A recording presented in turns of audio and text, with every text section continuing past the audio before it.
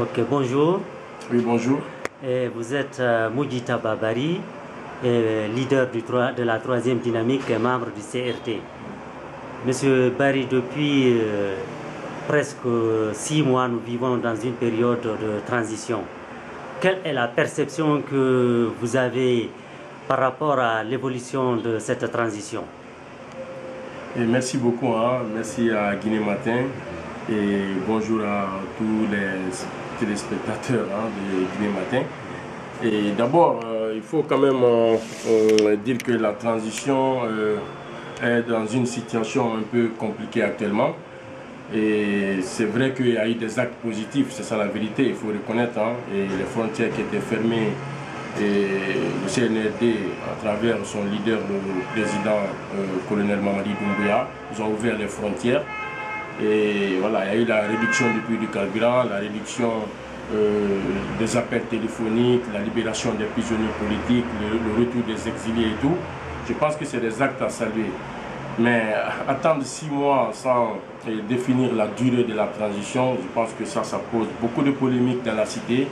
Et même moi, personnellement, je me demande pourquoi euh, le CNRD ne peut pas quand même appeler les acteurs politiques très rapidement et les acteurs de la société civile pour ensemble qu'on essaie de définir la durée de la transition.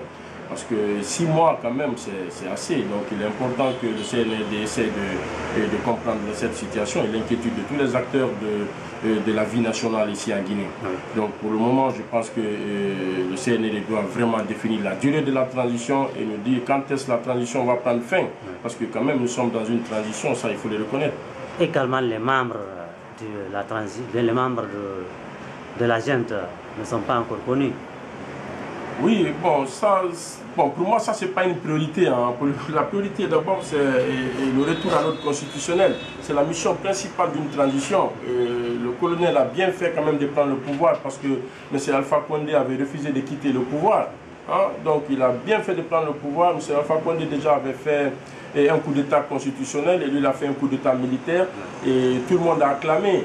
Et comme vous, pouvez le constater, moi je suis là depuis presque septembre, je fais des va-et-vient entre Bruxelles et Conakry, parce que euh, c'est nous qui avons demandé cette transition. Voilà, c'est nous qui avons demandé la transition, donc on s'est dit que c'est un devoir moral pour nous de travailler pour sa réussite.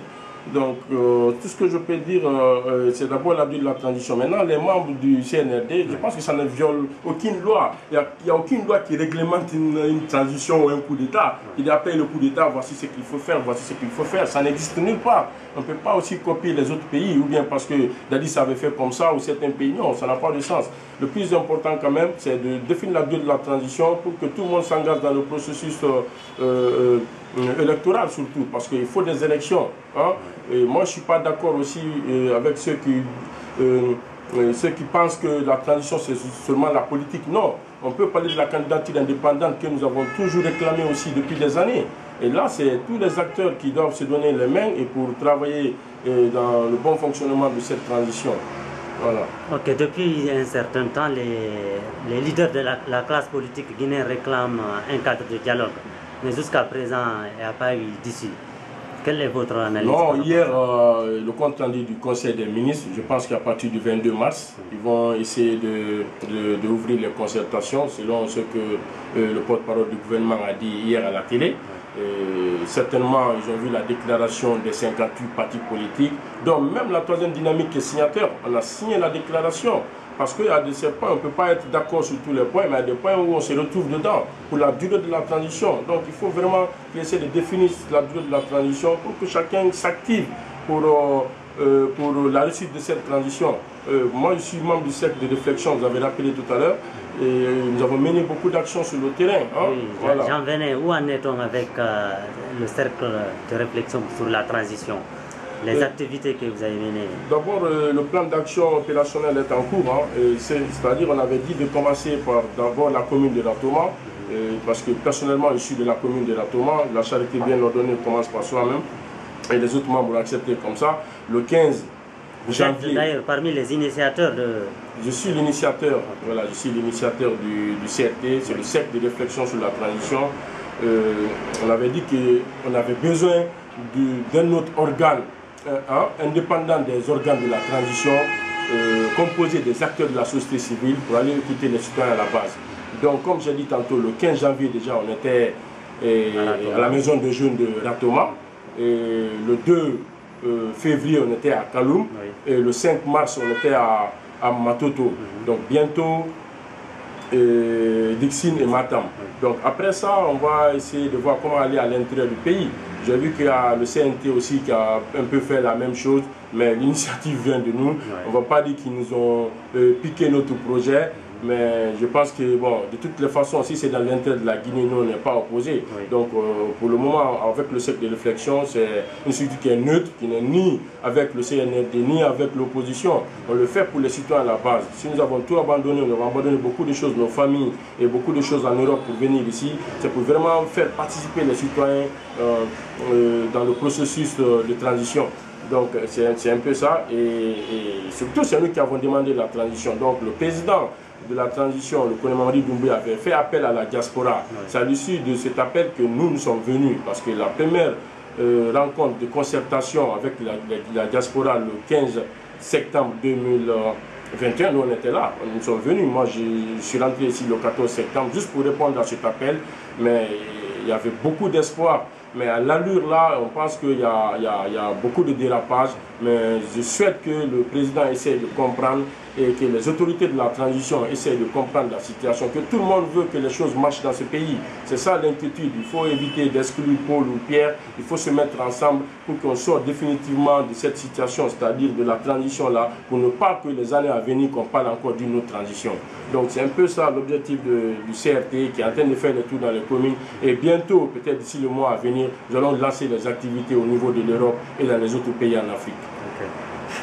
Un dernier mot ben là, c'est encore hein, lancer l'appel aux autorités hein, qui ont la manette. Ce sont eux qui doivent essayer de euh, mettre tout le monde ensemble.